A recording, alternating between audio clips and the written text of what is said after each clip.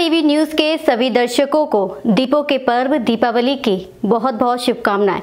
माँ लक्ष्मी की कृपा आप पर सदैव बनी रहे।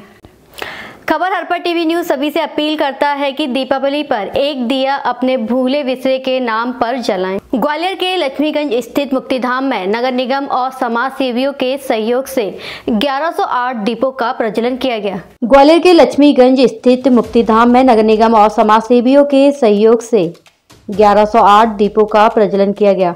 यह दीपक उन मृत आत्माओं की याद में जलाए गए थे जो कोरोना संक्रमण की दूसरी लहर में काल काल कब्रित हो गए थे। इस दीपांजलि कार्यक्रम में मृत व्यक्तियों के परिवार के सदस्यों को भी आमंत्रित किया गया था। लक्ष्मीगंज के मुक्त शमशान घाट के अलावा गैस प्लांट और इलेक्ट्रिक प्लांट पर भी दीप जलाए गए। इस मौके पर नगर निगम के उपायुक्त अतिबल सिंह यादव, भाजपा जिला अध्यक्ष कमल माखीजानी एवं अन्य समाजसेवी उपस्थित थे।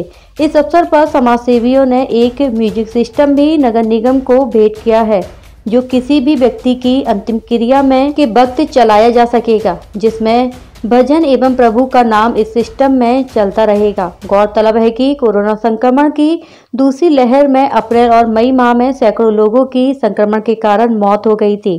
कई परिवारों में हालत ऐसे बने थे कि परिवार के सदस्य अपने मृत व्यक्ति की अंतिम क्रिया भी नहीं कर सका था। ऐसे में नगर निगम ने यह बीड़ा उठाया था। उनके कई लोगों के दुख अंतिम संस्कार किए और उनकी अस्थियों को गंगा जी एवं सोरो घाट पर प्रभाव प्रवाहित भी किया गया था।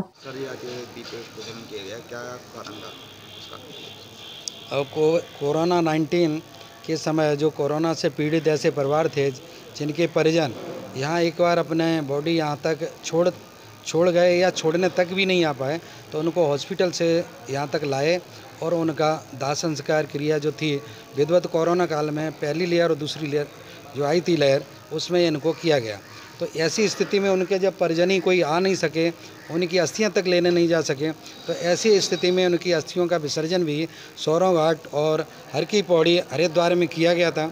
इसलिए उनकी आत्मा की शांति के लिए और एक श्रद्धांजलि देने के शुरू में आज ये नरक चौदस को हमने ये सारे दिए जलवाए हैं और इनको सभी इसमें 108 क्या नाम, गोबर के भी दिए हम जलवा रहे हैं। और एक हज़ार दिए उन सबकी आत्मा की शांति के लिए उनको हम याद करते हुए और श्रद्धांजलि दे रहे हैं। अतुल जी जिस तरीके से आप समाज सेवा करते हैं जिस तरीके की आपको प्रेरणा कहाँ से मिलती है कौन आपके जो सहयोग करते हैं हम जन्म से ही संत सेवा में रहा हूँ और हमारे यहाँ जन्म से ही संत वगैरह लोग आते रहते हैं। तो चूँकि यहाँ देख रहे हैं कि प्रोग्राम रखा गया क्या क्या किस तरीके का प्रोग्राम कोविड काल में जो विभीषिका हमने देखी जिस प्रकार से लोग दिवंगत हुए, हमको छोड़ के चले गए। और कई तो ऐसे लोग थे, जिनकी अंत्येष्टि भी करना मुश्किल थी और जिनकी अस्थि विसर्जन तो बहुत दूर के सोचने की बात थी। उस समय नगर निगम ने माननीय तुबर सिंह यादव जी के नेतृत्व में उनकी अस्थियाँ विसर्जित की हरिद्वार में, सौरों में जा कर के और उनकी आत्मा की शांति के लिए, जिनको कोई बचा ही नहीं है। यहाँ शमशान घाट में आज हम जो है आए हैं और यहाँ 1108 दीपक उनकी याद में हम यहाँ पर प्रज्वलित करेंगे, जिसमें से 108 जो दीपक हैं, वो गाय के गोबर से बने हुए हैं। बाकी मिट्टी के दिए हैं। हम सब मिलकर आज उनको उनके आत्मा की शांति के लिए परम परमपिता परमा से, परमात्मा से प्रार्थना करेंगे। एक एडिशन और यहाँ हुआ है। वो ये हुआ कि हमारे समाज सेवी दीपक पमनानी जी ने यहाँ पर एक म्यूज़िक सिस्टम डोनेट किया है। हम आज उसको यहाँ प्रारंभ करने वाले हैं कि भजनों के बीच में आप अंतिम क्रिया संपन्न कराएँ, ताकि ईश्वर को भी याद करें। और ईश्वर के, जो रचना है, उसको जो छोड़ने आते हैं तो उसके लिए भी प्रार्थना